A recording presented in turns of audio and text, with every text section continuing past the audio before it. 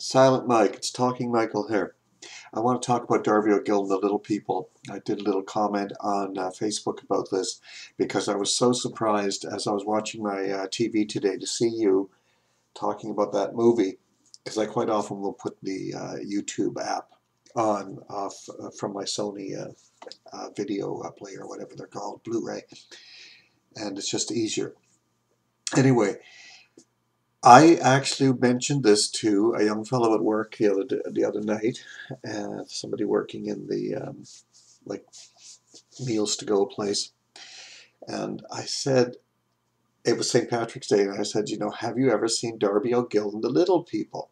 And this guy's like 20 or 21 in university, and he hadn't. Uh, and I told him that to this day, I remember that movie because they used to play it, uh, or at least parts of it, if not all of it. I would think maybe over a two-week period they would play it on the old Walt Disney Presents or Disney's World of Wonder, whatever. It had several names, and it ran for decades in Canada.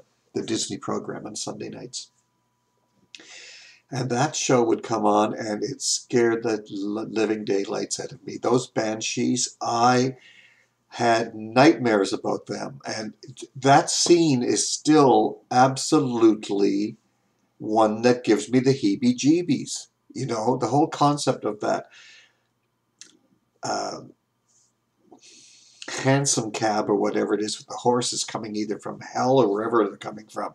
Oh, it was horrible. I just, I mean, it's so well done. Um, you know, that expression, uh, screaming banshee, it sure applies, doesn't it? And I don't like leprechauns. I think they make me almost as nervous as clowns, you know. Smiling short Irishmen and the pot of gold. I think the whole movie is creepy as I'll get out, you know. And like you said, everybody drinking stout and all of that sort of stuff. A lot of, uh, uh, I mean, a lot of scary stuff in that movie, you know. I mean, Walt Disney's as much of a pervert as anybody else.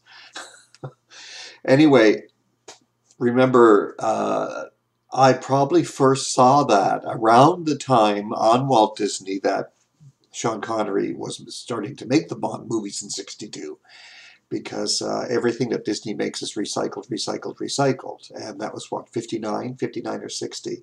So anyway, very early 60s, I would have seen it and I would have been 8, 9, 10, 11, whatever. And it doesn't matter even now. And I talked about this, oddly enough, it came up in a family conversation. I have many, many brothers. And another one of us, we were talking about this, about how that movie was still scary with the Banshees. And this was only in the last year or two. And, and this brother's also well into his 60s. So, you know, that is the power of movies. They can scare you and the it can linger.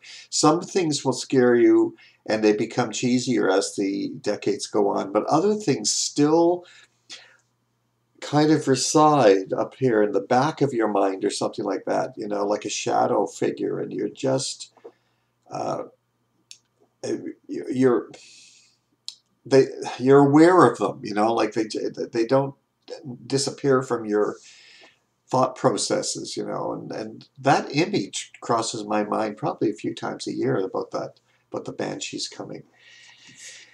Anyway, I just wanted to share that with you and your viewers because I think um, I think that was an interesting thing for you to review as somebody coming to it fairly late, 40 or 50 years on, 50 years on probably, 50 years plus and for me to remember it almost as long as that, you know, and uh, making such an impression on me. And that was in black and white television, making the impression. And I, I am aware about all of the special effects and the forced perspectives and, uh, you know, just the visual trickery, and it is quite amazing. It is uh, certainly quite, quite, quite, quite interesting, and uh, can still outshine so much of the uh, you know, razzmatazz of uh, CGI. Anyway, we'll see you around the tube. Take care.